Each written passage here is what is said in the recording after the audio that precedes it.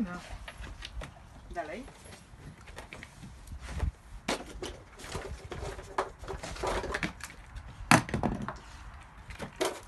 Super, było.